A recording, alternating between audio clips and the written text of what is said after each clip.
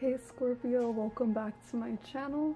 This is going to be your love and general reading for Scorpio Sun, Moon, Rising, and Venus signs for January 2020. So we're going to go ahead and get started with the deck on the left. We're going to pull one card to see what the energy is for the month of January. And the second deck to the right, we're just going to pull a six card tarot spread. I do upload weekly on here, so go ahead and subscribe to my channel for more content. So let's see what energy oracle card wants to come out.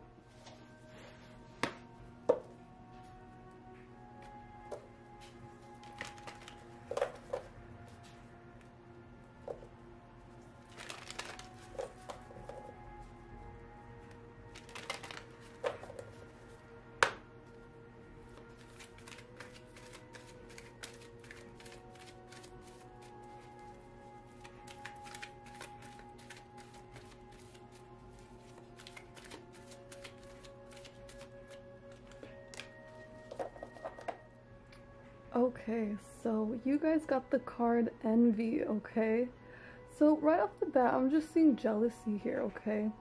So envy is pretty self-explanatory. I'm seeing you guys are bring, being brought to the attention of things that you want, okay? Things that you want to accomplish and things that you want to achieve.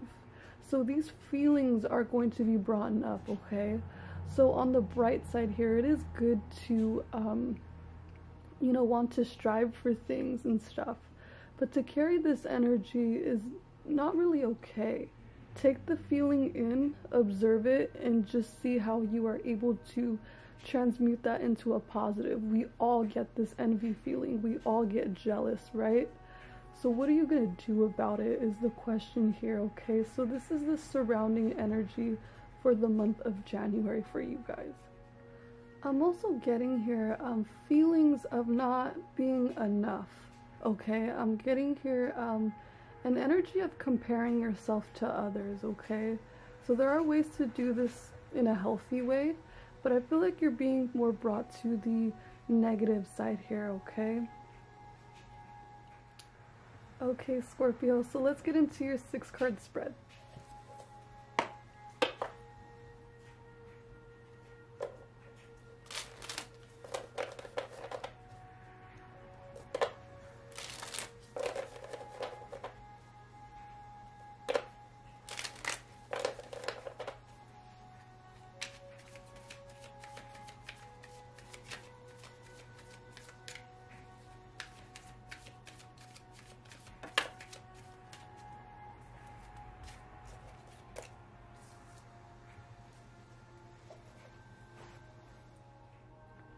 So we have the Nine of Swords reversed, the Hierophant reversed.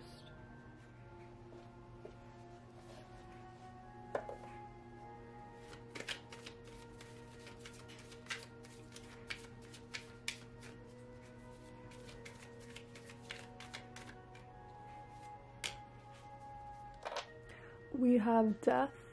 This is your card, Scorpio.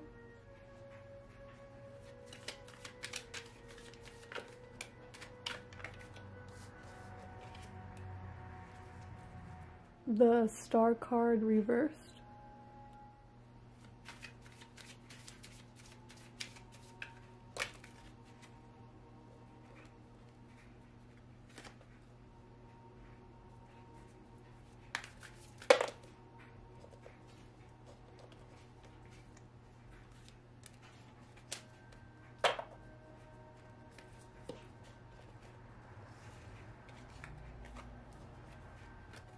The Six of Cups, Seven of Cups reversed.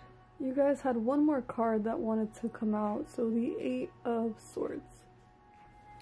Okay, so this is your spread, Scorpio. This is an interesting spread to me, okay? So at the far left, we have the Nine of Swords and the Star in the reverse. So I'm seeing that in the beginning of the month, of January, you guys are going to be getting out of your heads a little bit, okay? I, with the Nine of Swords, it's not a good card.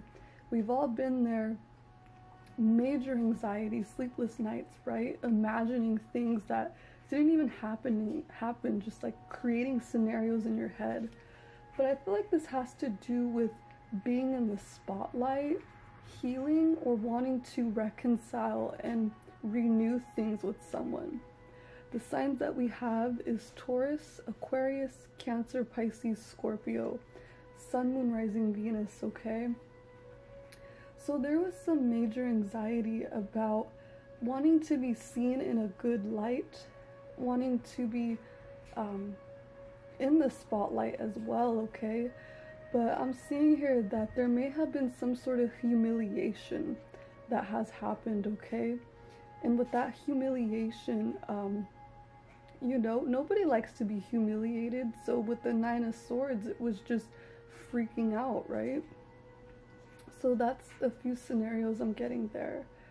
Um, with the Six of Cups, I'm seeing in January, some of you guys, um, like I said, could be reconciling with someone, but I'm also getting that you guys could be repeating past patterns here. Because with the star card, when it's upright, that talks about renewal, you know, doing things differently. Aquarius is very different, talks about healing the star card. But we have the Six of Cups, and whenever I get that card, that to me is just like staying stuck in the past, repeating patterns, okay? And we have it with the Hierophant in the reverse, so some of you guys could have Taurus in your chart, definitely, or you're dealing with one. If you're dealing with one, they're showing up in the reverse, and that's all I'm gonna say. But I'm seeing that a lot of you guys have gotten out of a relationship, have gotten out of a commitment, have gotten out of school, a job, an institution, what have you. And for others of you, um, you guys want to be in a hierophant position, okay? Own your own business, be a spiritual teacher, what have you. Um, maybe you guys want to apply for a new school a new job. Um, but with the Six of Cups, it's like there's something here with your patterns or behaviors that's blocking it. And with the Death card, there's endings here, okay? I feel like there's some sort of loss here, and that could be why the envy is showing up, okay? So I feel like some of you guys could have been humiliated, and if not, just not really getting what you want, okay? With the Seven of Cups in the reverse, you're coming out of confusion. You're coming out of being in a period where there was just smoke and mirrors, you had a lot of options. Some of you guys I see are picking a Scorpio Sun, Moon, Rising, Venus, okay, as an option. For others of you, you're choosing to end things, okay? And you're choosing to transform. But I do see that you are feeling a little stuck. You are in your head, okay, which is bringing you to a little bit of low vibration, right?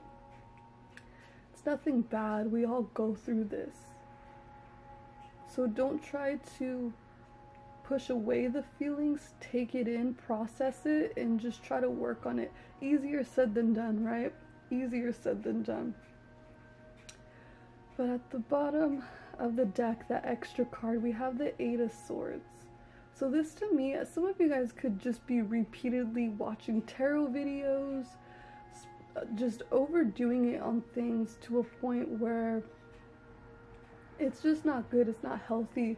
I'm seeing drug use also with the Eight of Swords heroin. Okay. Some of you guys could have relapsed or are still clean but I'm getting here that some of you guys um, have relapsed. I'm seeing some of you guys could be in jail. Someone's in jail, or you were in jail.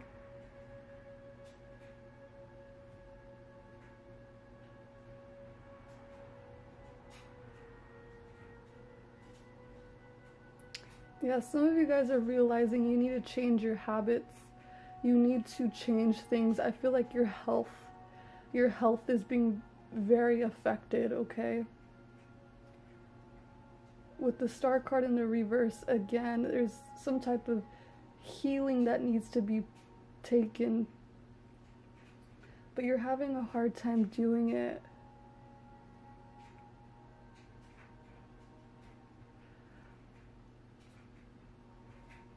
With the death card, too, something could be taken away from you guys.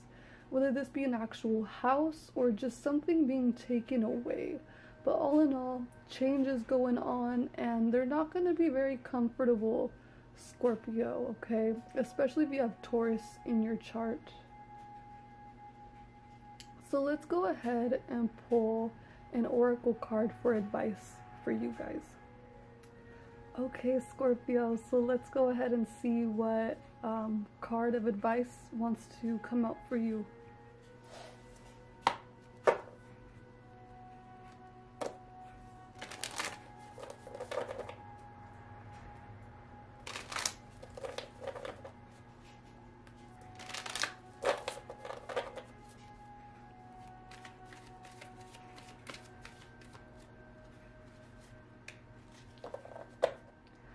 Okay, so the card you guys got is co create in the reverse. So this says, You are trying too hard to create all that you desire without the nurturing vital force of spirit. Perhaps you are in a creative slump, suffering with writer's block, facing a monumental task but unable to decide on your first step. So you just avoid doing anything. Does the word overwhelmed apply to you right now? Why do you think it all has to come down to you? Inspiration means the drawing in of divine guidance. You must tap into spirit, not simply yourself. Ask spirit for inspiration. Two minds are greater than one, so co create with your divine partner. Reclaim your partnership with spirit. Inspiration will flow through you as soon as you get out of your own way. Okay? So you guys feel stuck what this card is recommending is to have faith, but also this card is all about working with your guides, working with your spirit guides. This could also just be working with other people as well, trying to create whatever it is that you want to, okay? But in order to make things happen and to have faith in healing, I feel like spirit or whatever you want to believe in is really urging you to tap into them, okay? So, Scorpio, that is all I have for you here. Thank you so much for watching, and I'll see you guys next time.